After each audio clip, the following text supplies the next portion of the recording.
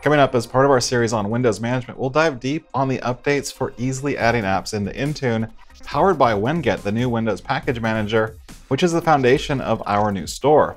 Now we'll show you the experience for how admins can import and publish apps, including exes and MSIs, how this also applies to self-service app installs from the company portal, and if you're using the Microsoft Store for Business now, we'll show you best practices to smooth your transition. And join us today to go deeper on the new experience is Jason Githens from the Intune team. Welcome back.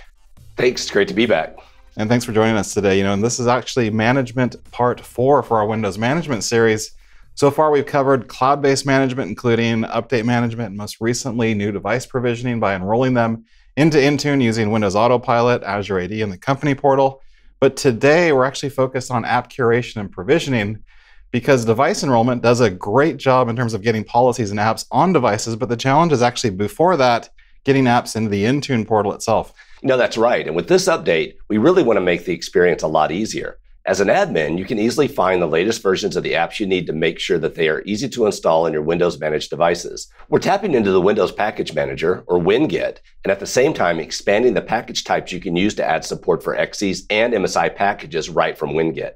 This is in addition to AppX and MSIX packages, which you can also use. If you're not familiar with Winget, it's a command line tool to find and configure apps. I happen to be running this in Windows Terminal, but it also works in PowerShell and the command prompt, so it's fully automatable. I'll run a help command and you'll see all of the different app operations it can perform, like installing, searching, upgrading, and more. I'll run a simple command to search for Adobe using dash S MS Store to filter on only the ones in the store, and you can see it find several packages, a few with the XP prefix, indicating that these are Win32 packages. And to look at the details, I'll run a show command using its ID to view information for Adobe Acrobat Reader DC. And here, under Installer, you'll see the app as an exe file type. So it's really easy to find app packages and perform standard app operations against them. Right, and the good news here is that, you know, this Windows Package Manager already has a lot of great ISV support and you're going to find a lot of useful apps in there. So, how does it work together with Intune? Well, so to get to apps, we've connected Windows Package Manager Framework back into the Intune app service and created a workflow to make these experiences work seamlessly together. Apps and their packages are maintained centrally by the ISV publisher of the app package. And as an Intune admin, you have complete control to curate the experiences and what your users can install. Let me show you the experience in the Intune Admin Center. Starting from the All Apps blade, I'll add an app.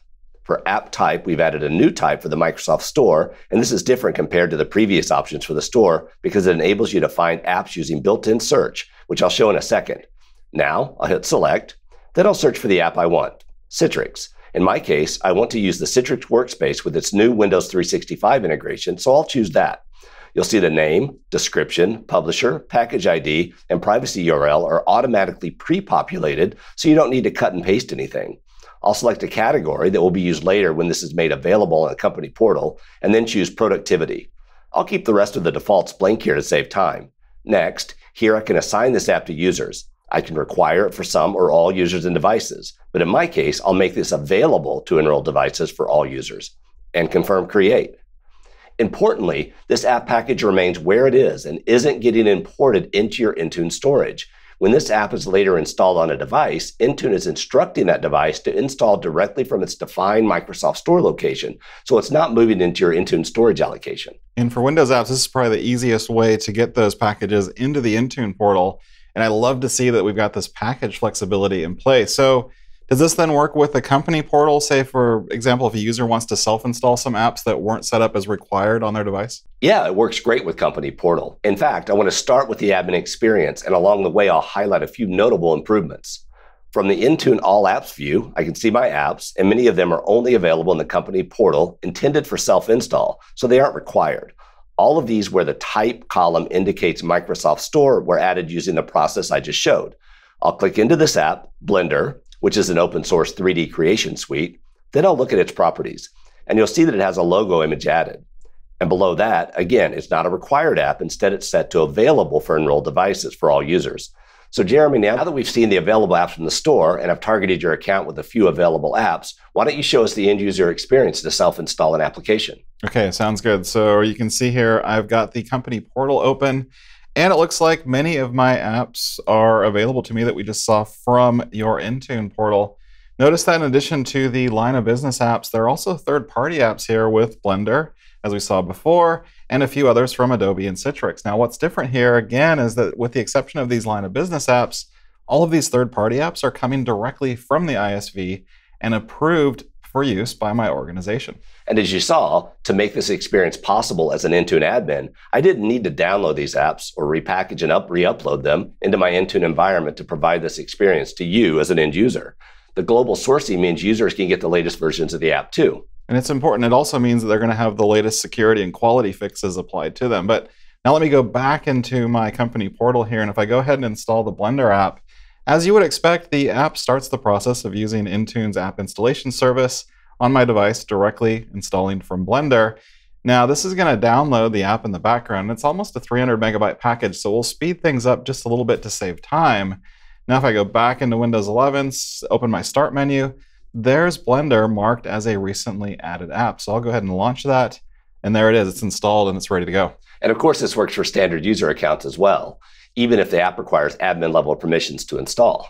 And this experience is pretty similar to what you might do when you authorize apps for mobile stores all within the Intune Admin Center. But in this case, it's for Windows. Exactly. And this new direction has several advantages, especially in the area of app curation flow. As we mentioned, there's already a ton of ISV support. That said, as we announced in July 2021, we'll be retiring the Microsoft Store for Business and Store for Education next year. So the integration work we built between Intune and the Microsoft Store is designed to lay the path to help you as you transition. If you're using the Store for Business now, this means that you'll be able to bring your apps into the Intune Admin Center like I showed, either as required apps assigned to users or devices, or available apps for self-install experiences, and you'll use the company portal to enable that. And as you saw in our example, when I was enumerating using Winget Search and also in Intune when I added the new app to my app portfolio, each of these were coming from the Microsoft Store. That means, for the most part, the apps you're using with the Store for Business today will be available via that process. Plus, it is also expanding to Win32 based applications such as MSI and Exe packages. And for your apps that are not in the store, you can easily import your LOB app packages into Intune. Of course, with the built-in user and group assignment in Intune, you can leverage role-based access controls to scope exactly which user or device will get those apps. And you can find even more guidance for optimizing your transition from the store for business to Intune at aka.ms slash store transition. And this Winget integration along with the store really simplifies the process for adding apps to Intune. So do we need to configure anything in order to get all of this integration to light up within the Intune Admin Center? Well, actually, we do the integration out of the box, and we're rolling this out now. Once you see the new Microsoft Store app type appear in your tenant, you can follow the steps I demonstrated to start adding your apps to Intune. Great stuff. Thanks so much, Jason, for joining us today and also sharing the new experience for getting Windows apps into the Intune admin portal. Of course, keep checking back to Microsoft Mechanics for all latest updates. Subscribe to our channel if you haven't already, and as always, thank you for watching.